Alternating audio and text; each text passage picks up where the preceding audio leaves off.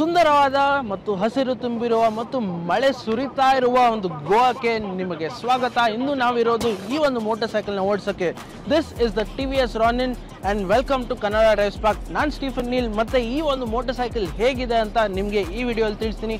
ಬನ್ನಿ, ಶುರು ಮಾಡೋಣ.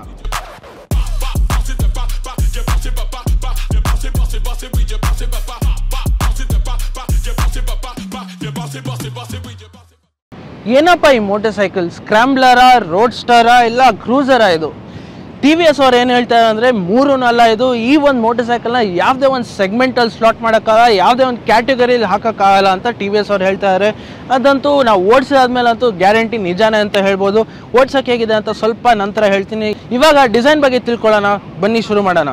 Starting off with the circular headlamp up front ಮುಂದ್ಗಡೆ ಒಂದು ಒಳ್ಳೆ ಆ, ಇದು ಒಂದು ಫಿನಿಶ್ ಕೊಟ್ಟಿರೋ ಒಂದು ಹೆಡ್ಲ್ಯಾಂಪ್ ಕೊಟ್ಟಿದ್ದಾರೆ ಟಿ ವಿ ಎಸ್ ಅವರು L E D headlamp of course ಎಲ್ಲ ಈ ಒಂದು ಸೆಗ್ಮೆಂಟಲ್ಲಿರೋ ಎಲ್ಲ ಬೈಕ್ಗಿಂತನೂ ಪವರ್ಫುಲ್ ಆಗಿರೋ ಒಂದು ಎಲ್ ಇ ಡಿ ಹೆಡ್ಲ್ಯಾಂಪ್ ಅಂತ ಹೇಳ್ತಾರೆ ಟಿ ವಿ ಎಸ್ ಅವರು. ಹೌದು ನಾವು ಟೆಸ್ಟ್ ಮಾಡೋಕ್ಕಾಗಿಲ್ಲ ಯಾಕಂದರೆ ರಾತ್ರಿ ಸಮಯದಲ್ಲಿ ನಾವು ಓಡಿಸಿಲ್ಲ ಈ ಬೈಕ್ನ ಆದರೆ ಒಂದಂತೂ ಹೇಳ್ಬೋದು ಡೇ ಟೈಮಲ್ಲಿ ಓಡಿಸುವಾಗ ರಿಫ್ಲೆಕ್ಟರ್ ಬೋರ್ಡ್ ಬರುತ್ತಲ್ಲ ಸೈನ್ ಬೋರ್ಡ್ ಆ ಸೈನ್ ಬೋರ್ಡಲ್ಲಿ ನೋಡ್ಬೋದಿತ್ತು ಇದರ ಒಂದು ಪವರ್ಫುಲ್ನೆಸ್ನ ಒಂದು ಬ್ರೈಟ್ನೆಸ್ನ ಸೊ ಅದರಿಂದ ಗೇಜ್ ಮಾಡ್ಬೋದು ನಾವು ಇದು ಎಷ್ಟು ಒಳ್ಳೇದಿದೆ ಅಂತ.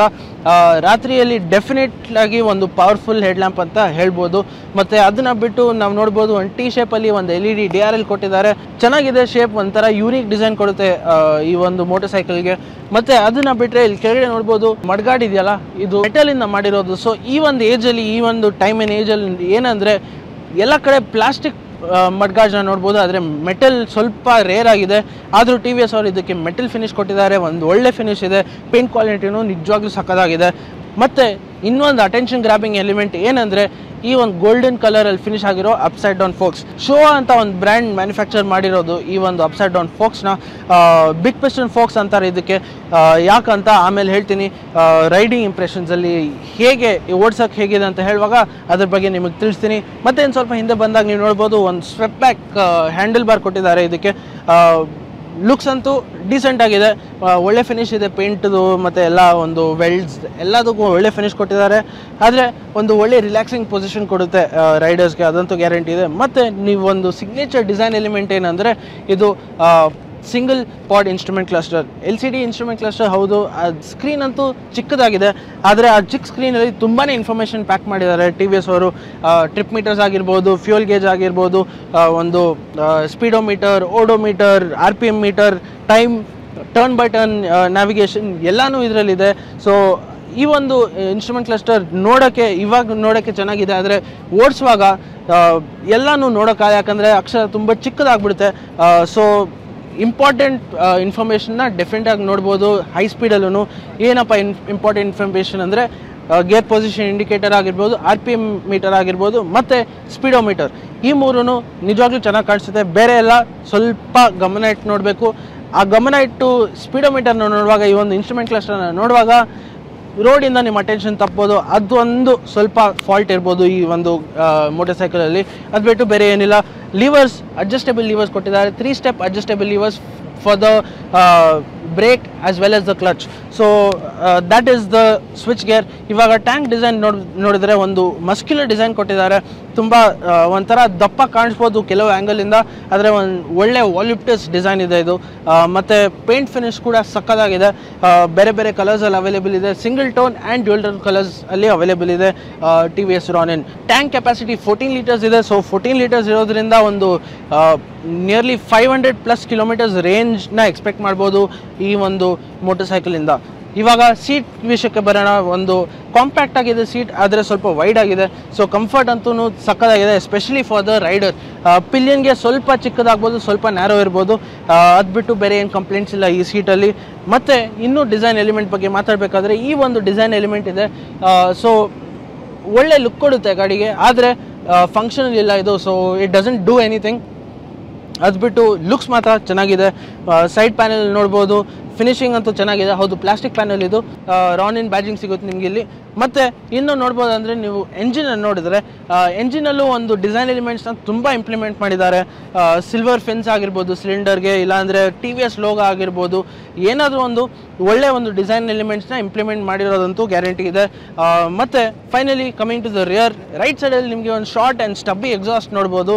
ಅಪ್ಸ್ವೆಪ್ಟ್ ಅಂತೂ ಇಲ್ಲ ಈ ಎಕ್ಸಾಸ್ಟ್ ಆದರೆ ನೋಡೋಕ್ಕಂತೂ ಚೆನ್ನಾಗಿದೆ. ಲೆಫ್ಟ್ ಸೈಡಲ್ಲಿ ಒಂದು ಸಾರಿ ಗಾರ್ಡ್ ನೋಡ್ಬೋದು. ಅದು ಡೆಫಿನೆಟ್ ಆಗಿ ಸ್ವಲ್ಪ ದೊಡ್ಡದಾಗೇ ಇದೆ. ಸೊ ಎಲ್ಲರೂ ಡೆಫಿನೆಟ್ ಆಗಿ ತೆಗಿಬೇಕು ಅಂತ ಅಂದ್ಕೊತಾರೆ ಇನ್ನೊಂದು ಎಲಿಮೆಂಟ್ ಇದೆ ಇಲ್ಲಿ ಲೆಫ್ಟ್ ಸೈಡಲ್ಲಿ ಏನಂದರೆ ಅದು ಚೈನ್ ಗಾರ್ಡ್ ಸೊ ಈ ಚೈನ್ ಕವರ್ ಏನಿದೆ, ಒಂದು ಸಖತ್ ದೊಡ್ಡದಾಗಿದೆ.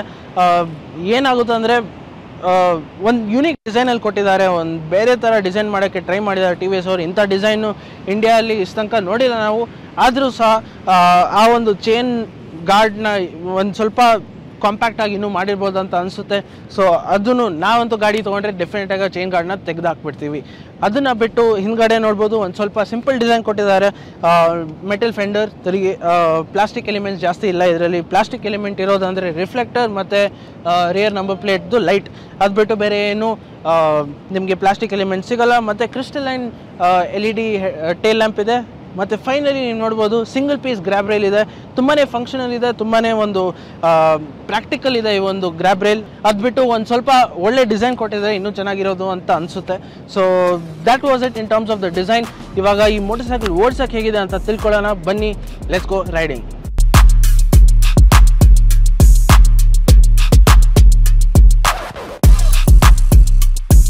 V S Ronin ಬಗ್ಗೆ ಎಲ್ಲದಕ್ಕಿಂತ ಒಂದು ಇಂಪ್ರೆಸಿವ್ ಆಗಿರೋ ಒಂದು ವಿಷಯ ಏನಂದರೆ ಇದರ ಎಂಜಿನಿಯರಿಂಗ್ ಮತ್ತು ಇದರ ಎಂಜಿನ್ ಎಂಜಿನ್ ಬಗ್ಗೆ ಮಾತಾಡಬೇಕಂದ್ರೆ two twenty five point nine C C air and oil cooled single cylinder engine ನಿಮಗೆ ಇದರಲ್ಲಿ ದೊರೆಯುತ್ತದೆ ಇದು Apache R T R two hundred four B ಅಲ್ಲಿ ಸಿಗೋ ಎಂಜಿನ್ ಮೇಲೆ ಬೇಸ್ ಆಗಿರೋ ಒಂದು ಎಂಜಿನ್ ಅದೇ ಟಿ ವಿ ಎಸ್ ಅವರು ಕೆಲವು ಚೇಂಜಸ್ನ ಇದಕ್ಕೆ ಮಾಡಿದ್ದಾರೆ. ಟ್ಯೂನಿಂಗ್ ಬಂದುಬಿಟ್ಟು ರೇಸ್ ಟ್ರ್ಯಾಕ್ಗೆ ಇಲ್ಲ ಹೆವಿ ಒಂದು ಹೈ ಆರ್ ಪಿ ಎಂ ಯೂಸ್ಗೆ ಮಾಡಿಲ್ಲ ಇವಾಗ.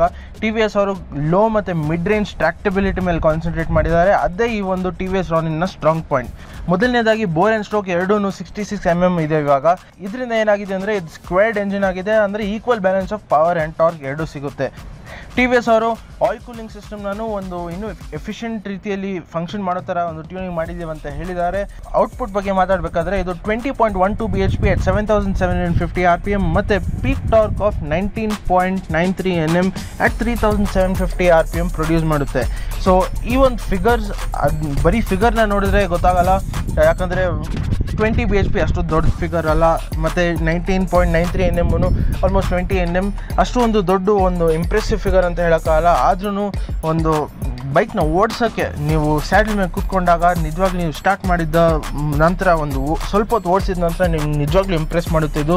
ಯಾಕಂದರೆ ಒಂದು ಒಳ್ಳೆಯ ರೀತಿಯಲ್ಲಿ ಟ್ಯೂನ್ ಮಾಡಿದ್ದಾರೆ ಈ ಒಂದು ಎಂಜಿನ್ನ starting with the G T T glide through technology ನಿಮಗೆ ಇದರಲ್ಲಿ ಸಿಗುತ್ತೆ. ಸೊ ಲೋ ಸ್ಪೀಡಲ್ಲಿ ಎಂಜಿನ್ ಆಫ್ ಆಗೋದು ಮತ್ತು ಟ್ರಾಫಿಕಲ್ಲಿ ಕ್ಲಚ್ ಸರಿಯಾಗಿ ಬಿಟ್ಟಿಲ್ಲ ಅಂದರೆ ಎಂಜಿನ್ ಆಫ್ ಆಗೋದು. ಅದು ಸ್ವಲ್ಪ ಚಾನ್ಸಸ್ ಕಮ್ಮಿ ಇದೆ ಇದರಲ್ಲಿ. ಮತ್ತು ಟಿ ವಿ ಎಸ್ ಅವರು ಒಂದು ಎಕ್ಸಾಸ್ಟ್ ನೋಟ್ನೂ ಒಂದು ಒಳ್ಳೆ ರೀತಿಯಲ್ಲಿ, ಬೇಸಿ ರೀತಿಯಲ್ಲಿ ಸಿಗೋದಕ್ಕೆ ಒಳ್ಳೆ ಟ್ಯೂನಿಂಗನ್ನು ಮಾಡಿದ್ದಾರೆ. ಸೊ ಇದು ಒಂದು ಎಕ್ಸಾಸ್ಟ್ ನೋಟ್ ಬಗ್ಗೆ. ಇವಾಗ ಓಡ್ಸೋಕ್ಕೆ ಹೇಗಿದೆ ಅಂತ ಹೇಳ್ತೀನಿ. ಸೊ ಈ ಥ್ರಾಟ್ಲನ್ನ ನೀವು ಟ್ವಿಸ್ಟ್ ಮಾಡಿದರೆ ಕ್ವಿಕ್ಕಾಗಿ eight thousand R P M ತನಕನೂ ರೆವ್ ಆಗುತ್ತೆ engine hundred kilometres per hour ಆರಾಮಾಗಿ ನೀವು ಈ ಒಂದು ಟಿ ವಿ ಎಸ್ ರಾಡಿನಲ್ಲಿ ಆರಾಮಾಗಿ ಟಚ್ ಮಾಡ್ಬೋದು. ಆದರೆ ನೈಂಟಿ ಕಿಲೋಮೀಟರ್ಸ್ ಪರ್ ಅವರ್ ನಂತರ ಒಂದು ಸ್ವಲ್ಪ ಸ್ಟ್ರೆಸ್ ಆಗಿರುತ್ತೆ ಇಂಜಿನ್ ಸೊ ಅದು ಒಂದು ವಿಷಯ ನೀವು ನೋಟ್ ಮಾಡಬೇಕಾಗಿರುತ್ತೆ. ಹೈ ಆರ್ ಪಿ ಎಮಲ್ಲಿ ಸ್ವಲ್ಪ ಹೊತ್ತು ಓಡಿಸಿದ ನಂತರ ನಾವು ಡಿಸೈಡ್ ಮಾಡಿದ್ವಿ okay low R P M ಅಲ್ಲಿ ಹೇಗಿದೆ ಓಡ್ಸೋಕ್ಕಂತ ಟ್ರೈ ಮಾಡೋಣ ಅಂತ. ಸೊ ಲೋ ಆರ್ ಪಿ ಎಮಲ್ಲಿ ಶಿಫ್ಟ್ ಮಾಡೋಕ್ಕೆ ಶುರು ಮಾಡಿದ್ವಿ. ಆವಾಗ ಗೊತ್ತಾಯಿತು ಈ ಟಿ ವಿ ಎಸ್ ರಾಡಿನ ಸ್ಟ್ರಾಂಗ್ ಪಾಯಿಂಟ್ ಪೀಕ್ ಟಾಕ್ ಬಂದ್ಬಿಟ್ಟು ಬರೀ three thousand seven fifty R P M ಬರುತ್ತೆ. ಸೊ ಅದರಿಂದ ಏನಾಗುತ್ತೆ ಅಂದರೆ ನಿಮಗೆ ಲೋ ಆ್ಯಂಡ್ ಗ್ರಂಟ್ ತುಂಬಾ ಇದೆ ಈ ಮೋಟರ್ ಸೈಕಲಲ್ಲಿ ಸೊ ಆರಾಮಾಗಿ ನೀವು ಯಾವುದೇ ಒಂದು ಗೇರಲ್ಲಿ ಇದ್ರೂ ನೀವು ಆರಾಮಾಗಿ ಓಡಿಸ್ಕೊಬೋದು. ಮತ್ತು ಗೇರ್ಗಳು ಶಿಫ್ಟ್ ಮಾಡ್ಕೊಂಡು ಹೋಗ್ಬೋದು. Four thousand five hundred R P M shift ಮಾಡಿದ್ರೂ ಒಳ್ಳೆ ನಿಮಗೆ ಟಾರ್ಕ್ ಒಂದು ಬ್ಯಾಂಡ್ ಇದೆ. ಸೊ ಒಂದು ಒಳ್ಳೆ ರೀತಿಯಲ್ಲಿ ಆಕ್ಸಿಲರೇಟ್ ಆಗುತ್ತೆ, ಒಳ್ಳೆ ರೀತಿಯಲ್ಲಿ, ಅಂದರೆ ಕ್ವಿಕ್ ಆಕ್ಸಿಲರೇಷನ್ ಇಲ್ಲ, ಆದರೂ ಸಹ ಒಂದು ಒಳ್ಳೆ ಡ್ರೈವೆಬಿಲಿಟಿ ರೈಡೆಬಿಲಿಟಿ ಇದೆ ಈ ಒಂದು ಮೋಟರ್ ಸೈಕಲ್ನಲ್ಲಿ ಸಸ್ಪೆನ್ಷನ್ ಬಗ್ಗೆ ಮಾತಾಡಬೇಕಾದ್ರೆ ಶೋವಾ ಅಂತ ಏನು ಬ್ರ್ಯಾಂಡ್ ಇದೆ? ಆ ಶೋವಾ ಇಂದ ಒಂದು ಅಪ್ಸೈಡ್ ಡೌನ್ ಫೋಕ್ ಕೊಟ್ಟಿದ್ದಾರೆ ಇದಕ್ಕೆ. ಸೊ ಫ್ರಂಟಲ್ಲಿ ನಿಮ್ಗೆ ಅಪ್ಸೈಡ್ ಡೌನ್ ಫೋಕ್ ಸಿಗುತ್ತೆ, ಮತ್ತು ಹಿಂದ್ಗಡೆ ಮೋನೋಸ್ಟಾಕ್ ಸಿಗುತ್ತೆ. ಈ ಅಪ್ಸೈಡ್ ಡೌನ್ ಫೋಕ್ ಬಂದ್ಬಿಟ್ಟು ಬಿಗ್ ಪಿಸ್ಟನ್ ಫೋರ್ಕ್ ಅಂತಾರೆ. ಸೊ ಬಿಗ್ ಪಿಸ್ಟನ್ ಇರುವಾಗ ಏನಾಗುತ್ತೆ ಅಂದರೆ ಕೂಲಿಂಗ್ ಎಫಿಷಿಯನ್ಸಿ ಇನ್ನೂ ಜಾಸ್ತಿ ಇರುತ್ತೆ. ಮತ್ತು ನಿಮಗೆ ಆ ಒಂದು ಸಸ್ಪೆನ್ಷನ್ದ ಆ ಒಂದು ಬಂಪ್ ಅಬ್ಸಾರ್ಪ್ಷನ್ ಕೆಪಬಿಲಿಟೀಸ್ ಏನಿದೆ ಏನಿದೆ ಅದು ರಿಟೈನ್ ಆಗುತ್ತೆ ಎಲ್ಲ ಒಂದು ಟೆರೇನಲ್ಲೂ ಮತ್ತು ಓವರ್ ಲಾಂಗರ್ ಡಿಸ್ಟೆನ್ಸಸ್ನು ಬಂಪ್ ಅಬ್ಸಾರ್ಪ್ಷನ್ ಒಂದು ಕೇಪಬಿಲಿಟಿ ಹಾಗೆ ಇರುತ್ತೆ. ಪಾಟ್ ಹೋಲ್ಸ್ ಮತ್ತು ಬಂಪ್ಸ್ನ ನೀವು ಸ್ವಲ್ಪ ಫೀಲ್ ಮಾಡ್ಬೋದು, ಹೌದು. ಅಷ್ಟು ಒಂದು ಪ್ಲಸ್ ರೈಡ್ ಅಂತ ಏನಿಲ್ಲ. ಸ್ವಲ್ಪ ರಿಜಿಡ್ ಸೈಡಲ್ಲಿದೆ ಫ್ರಂಟ್ ಸಸ್ಪೆನ್ಷನ್ ಆದರೆ ಹ್ಯಾಂಡ್ಲಿಂಗ್ ಅಂತೂ ನಿಜವಾಗ್ಲೂ ಚೆನ್ನಾಗಿದೆ. ಯಾವುದೇ ಥರದ ಒಂದು ಕಾರ್ನರು ಮತ್ತು ಒಂದು ಘಾಟ್ ಸೆಕ್ಷನ್ ಆಗಿರ್ಬೋದು, ಇಲ್ಲ ಹೈವೇ ಆಗಿರ್ಬೋದು, ಇಲ್ಲ ಸ್ಟ್ರೀಟ್ ನಾರ್ಮಲ್ ಸಿಟಿ ಯೂಸೇಜ್ಗೂ ಆಗಿರ್ಬೋದು, ಒಳ್ಳೆ ಹ್ಯಾಂಡ್ಲಿಂಗ್ ಕೊಟ್ಟಿದ್ದಾರೆ ಈ ಒಂದು ಮೋಟರ್ ಸೈಕಲ್ಗೆ ರಿಯರ್ ಸಸ್ಪೆನ್ಷನ್ ಅಂತೂ ನಿಜವಾಗ್ಲೂ ಸಾಫ್ಟ್ ಆಗಿದೆ. ಸೊ ನಿಮಗೆ ಬಂಪ್ ಅಬ್ಸಾರ್ಪ್ಷನ್ ಕೆಪಬಿಲಿಟಿ ಮತ್ತು ಕಂಫರ್ಟ್ ಇನ್ನೂ ಚೆನ್ನಾಗಿರುತ್ತೆ. ಪ್ಲಸ್ ಇದರ ಸೀಟ್ ಬಗ್ಗೆ ಮಾತಾಡಬೇಕಂದ್ರೆ very comfortable seat especially for the rider pillion ರೈಡರ್ಗೆ ಸ್ವಲ್ಪ ಅನ್ಕಂಫರ್ಟೇಬಲ್ ಆಗಿರುತ್ತೆ. ಯಾಕಂದರೆ ಸೀಟ್ ಒಂಥರ ಕಾಂಟೂರ್ ಆಗಿದೆ ಹಿಂದ್ಗಡೆ ಹೋಗುವಾಗ. ಆದರೆ ರೈಡರ್ಗಂತೂ ನಿಜವಾಗ್ಲೂ ಚೆನ್ನಾಗಿದೆ ಸೀಟ್ ಮತ್ತು finally coming to the braking ಫ್ರಂಟಲ್ಲಿ ನಿಮಗೆ three hundred M M disc brake ಸಿಗುತ್ತೆ. ಹಿಂದ್ಗಡೆ ನಿಮಗೆ two hundred and forty M M disc brake ಸಿಗುತ್ತೆ. ಈ ಎರಡರಲ್ಲೂ ನಿಮಗೆ ಎ ಬಿ ಎಸ್ ಸಿಗುತ್ತೆ. ಅಲ್ಲಿ ಒಂದು top end variant T V S ಆನಿನ top end T D ವೇರಿಯಂಟಲ್ಲಿ ನಿಮಗೆ dual channel A B S ಸಿಗುತ್ತೆ. ಬೇರೆ ಎರಡು ವೇರಿಯಂಟಲ್ಲೂ ಬೇಸ್ ವೇರಿಯಂಟ್ ಮತ್ತು ಮಿಡ್ ವೇರಿಯಂಟಲ್ಲಿ ನಿಮಗೆ single channel A B S ಸಿಗುತ್ತೆ. Dual channel A B S ಸಿಕ್ಕಿದಾಗ ನಿಮ್ಗೆ ಏನಾಗುತ್ತೆ ಅಂದರೆ ನಿಮಗೆ ಎರಡು ಎ ಬಿ ಎಸ್ ಮೋಡ್ ಸಿಗುತ್ತೆ. That is urban and rain rain ಅಂತೂ ನಿಜವಾಗ್ಲೂ ನಾವು ತುಂಬಾ ಯೂಸ್ ಮಾಡಬೇಕಾಗುತ್ತೆ. ಯಾಕಂದರೆ ಗೋವಾ ಅಲ್ಲಿ ನಿಜವಾಗ್ಲೂ ಮಳೆ ಸುರಿತಾ ಇತ್ತು ನಾವು ಗಾಡಿ ಓಡಿಸುವಾಗ. ಸೊ ಈ ಮೋಟರ್ ಸೈಕಲ್ನ ಓಡಿಸುವಾಗ ನಿಜವಾಗ್ಲೂ ಎ ಬಿ ಎಸ್ನ ಟೆಸ್ಟ್ ಮಾಡೋಕ್ಕೆ ತುಂಬಾ ಚಾನ್ಸಸ್ ಇತ್ತು ನಮಗೆ. ಸ್ಪೆಷಲಿ ಎಮರ್ಜೆನ್ಸಿ ಬ್ರೇಕಿಂಗ್ ಟೆಸ್ಟ್ ಮಾಡಿದ್ವಿ. ಎಮರ್ಜೆನ್ಸಿ ಬ್ರೇಕಿಂಗ್ ಟೆಸ್ಟ್ ಮಾಡಿದಾಗ ನಮ್ಗೆ ಏನು ಅನಿಸ್ತು ಅಂದರೆ ನಿಜವಾಗ್ಲೂ ಎ ಬಿ ಎಸ್ ಚೆನ್ನಾಗಿ ವರ್ಕ್ ಆಗುತ್ತೆ. ಆದರೆ ಎ ಬಿ ಎಸ್ಗಿಂತನೂ ಒಂದು ಒಳ್ಳೆ ಡಿಸ್ಕವರಿ ನಾವು ಮಾಡಿದ್ದು ಆವಾಗ ಏನಂದರೆ ಟೈರ್ಗಳ ಬಗ್ಗೆ. ಸೊ ಈ ಒಂದು tyre T V S Eurogrip ಅವ್ರು ಮ್ಯಾನುಫ್ಯಾಕ್ಚರ್ ಮಾಡಿರೋದು. T V S Eurogrip Remora ಅಂತ ಒಂದು ಕಂಪೌಂಡ್ ಬರುತ್ತೆ. ನೀವು ಆಗಲೇ ಟಿ ವಿ ಎಸ್ ಎಂಟಾರ್ಕಲ್ಲಿ ನೋಡಿರ್ತೀರ. ಟಿ ವಿ ಎಸ್ ಎಂಟಾರ್ಕ್ನ ಓಡಿಸಿರೋರಿಗೆ ಗೊತ್ತಿರುತ್ತೆ ಎಷ್ಟು ಒಂದು ಗ್ರಿಪ್ ಇದೆ ಈ ಒಂದು ಟೈರಲ್ಲಿ ಅಂತ. ಸೊ ಈ ಒಂದು ಟೈರಿಂದ ಡಿರೈವ್ ಆಗಿರೋದು ಈ ಟಿ ವಿ ಎಸ್ ರಾಡ್ನಿನಲ್ಲಿರೋ ರೆಮೋರಾ ಟೈರ್ಸ್. ಸೊ ಆದರೆ ಇದರಲ್ಲಿ ರೋಡ್ ಟೈರ್ಸ್ ಕೊಟ್ಟಿಲ್ಲ. Off road on road tyres ಅಂದರೆ ಡೂಲ್ ಪರ್ಪಸ್ ಟೈರ್ ಕೊಟ್ಟಿದ್ದಾರೆ ಬ್ಲಾಕ್ ಪ್ಯಾಟರ್ನ್ ಕೊಟ್ಟಿದ್ದಾರೆ. ನಿಜವಾಗ್ಲೂ ಚೆನ್ನಾಗಿದೆ ಗ್ರಿಪ್ ಎಷ್ಟೇ ಮಳೆ ಇದ್ರೂ ಎಷ್ಟೇ ನೀರಿದ್ರು ರೋಡಲ್ಲಿ ಒಳ್ಳೆ ರೀತಿಯಲ್ಲಿ ಗ್ರಿಪ್ ಮಾಡ್ತು ಟೈರ್ ನಿಜವಾಗ್ಲೂ ನಮಗಂತೂ ಸಖತ್ ಇಷ್ಟ ಆಯಿತು ಈ ಒಂದು ಟೈರ್ ಸೆಟಪ್ ಸೊ ಹೇಳಿದಾಗೆ ಆ ಒಂದು ಎಮರ್ಜೆನ್ಸಿ ಬ್ರೇಕಿಂಗ್ ಟೆಸ್ಟ್ ಮಾಡಿದಾಗ ರಿಯರ್ ಬ್ರೇಕಲ್ಲಿ ನಮಗೆ ಸ್ವಲ್ಪ ಎ ಬಿ ಎಸ್ ಪಲ್ಸೇಷನ್ ಸಿಕ್ತು, ಯಾಕಂದರೆ ಎ ಬಿ ಎಸ್ ಕಿಕ್ಕಿನ್ ಆಯಿತು. ಫ್ರಂಟ್ ಬ್ರೇಕ್ ಅಂತೂ ನಿಜವಾಗ್ಲೂ ಎ ಬಿ ಎಸ್ನು ಕಿಕ್ಕಿನ್ ಆಗಿಲ್ಲ. ಅಷ್ಟು ಒಂದು ಒಳ್ಳೆ ರೀತಿಯಲ್ಲಿ ಗ್ರಿಪ್ ನೀಡಿತು ಈ ಒಂದು ಟೈರ್ ಸೊ ಒಂದು ಒಳ್ಳೆ ಪ್ಯಾಕೇಜ್ ಕೊಟ್ಟಿದ್ದಾರೆ ಅಂತ ಹೇಳ್ಬೋದು. ಓವರ್ ಆಲ್ ಈ ಒಂದು ಟಿ ವಿ ಎಸ್ ರಾನಿನ್ ಹೇಗಿದೆ ಓಡಿಸೋಕ್ಕಂತ ಮಾತಾಡುವಾಗ ಒಂದು ಒಳ್ಳೆ ಪ್ಯಾಕೇಜ್ ಕೊಟ್ಟಿದ್ದಾರೆ ಅಂತ ನಿಜವಾಗ್ಲೂ ಹೇಳ್ಬೋದು.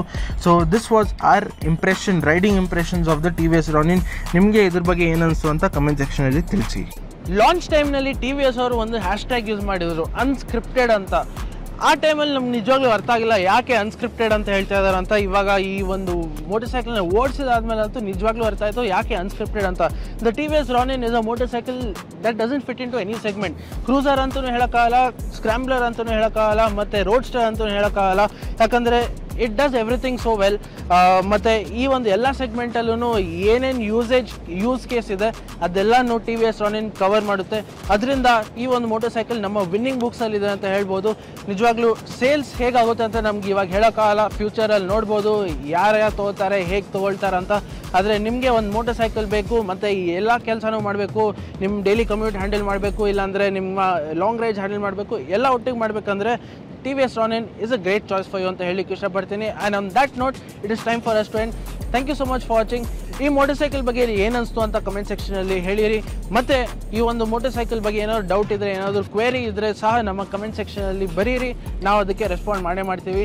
That's it from us for ನಾವು thank you so much for watching this is Stephen Neil signing off for Kannada drive spark stay safe and ride safe